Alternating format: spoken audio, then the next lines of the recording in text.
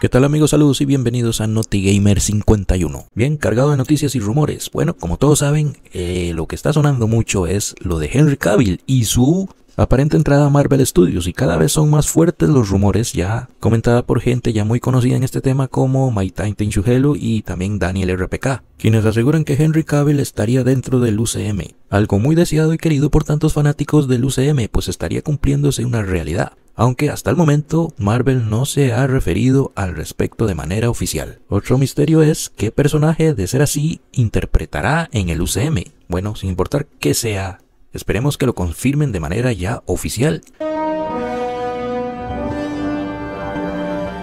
Bueno, otros rumores del insider My Titan Shuhado avisan que la bruja escarlata, Wanda, podría regresar entre las películas Kang, la dinastía de Kang o Avengers 5 y Secret World. Claramente el personaje de Wanda no murió en el derrumbe, como se apreció en Doctor Strange Multiverso de la Locura. Y en ese momento cuando apareció como un flash rojo, pues eso estaría diciéndonos que Wanda sobreviviría y que los planes que le quedan a la Bruja Escarlata son muchísimos en el UCM a futuro.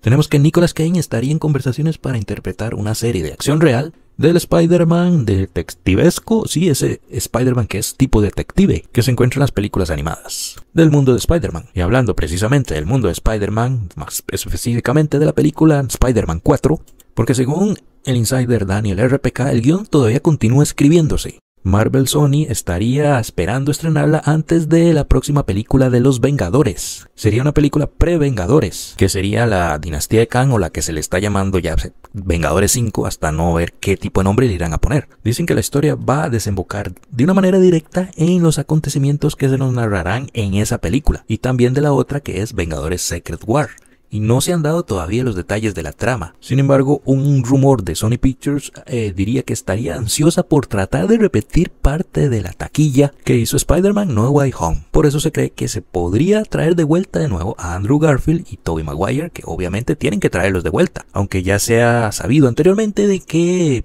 por lo menos Tobey Maguire podría estar en Vengadores Secret War y también Wilson Fiennes, el Kingpin, aparecerá en Spider-Man 4. Sin embargo, se dice que todavía no han negociado todavía con él para trabajar en estas películas. Y bueno, como no puede ser de otra manera en estos tiempos, salta la polémica con X-Men 97 y su personaje Morpho. Sería representado como una especie de visión más light que no sería binario, que tendría una interesante, digamos, relación de amistad con Wolverine. Morpho no fue representado como visión no binaria en la serie de los 90 ni tampoco en los cómics. Y bueno, para algunos este cambio está haciendo que algunos se molesten. Y otras cuestiones que preocupan, como si Rowe ahora no tiene trasero y antes sí lo tenía. ¿Tú qué crees? ¿Debemos preocuparnos por eso? ¿Qué escritores tan flojos? Y bueno, Thunderbolts estaría adelantando su fecha de estreno. Si todo va bien, sería el 5 de mayo de 2025. Y según dicen, no saldría nada de el General Ross en la película, es el Hulk rojo. Precisamente esto que estamos hablando de Hulk rojo, pues hablamos de Mark Ruffalo, Hulk, que en una entrevista en Variety pues diría algo que no podía decir, otro spoiler, pero según parece Variety lo desmintió. Al parecer sería un malentendido que no entendió muy bien Mark la pregunta. Contestó con un sí tal vez no pensando que si Hulk estaría en la película Capitán América. Eso es lo que quisieron decir en Variety, pero es que no se sabe porque en el pasado ya Mark Ruffalo metió las patas. ¿Quién recuerda el momento cuando Mark Ruffalo se le salió sin querer el spoiler de Avengers Infinity War, su final? True, in Marvel, it, it doesn't end that well. Somebody always bites or gets really badly. Wait till you see this next one. Everybody dies. Dude, nigga, help me. Dude, dude. Not everybody. No.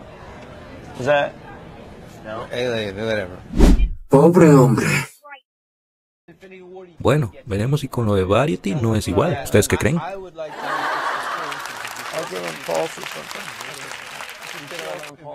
Y bueno, ya para terminar, la última noticia que acaba de salir de X-Men 97, porque acaban de confirmar que X-Men 97 no sería canon con los acontecimientos ocurridos actualmente en el UCM. Era una duda que quedaba en el aire que si lo que se iba a ver en esta serie tendría repercusión también en las películas del UCM.